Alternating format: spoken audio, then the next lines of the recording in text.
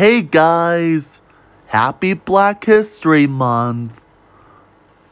But I'm also a Walmart cashier.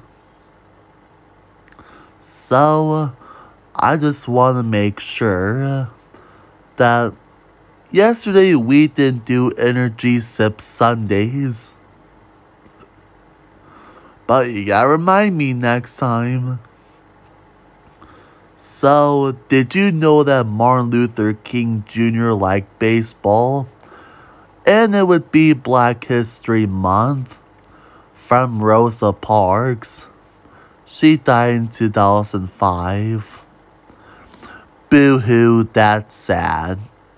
So, I am also a Phillies baseball player for Black History Month of February.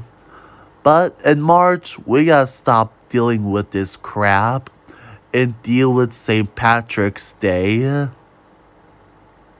So I just want to say I got tons of exclamations. Well, see you, bye.